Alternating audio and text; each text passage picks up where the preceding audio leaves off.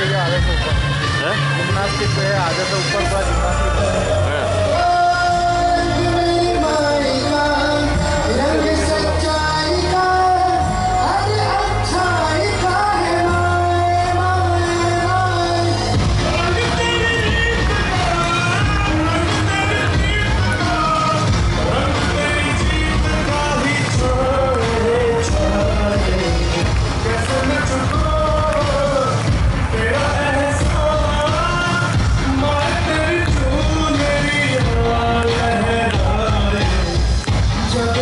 I'm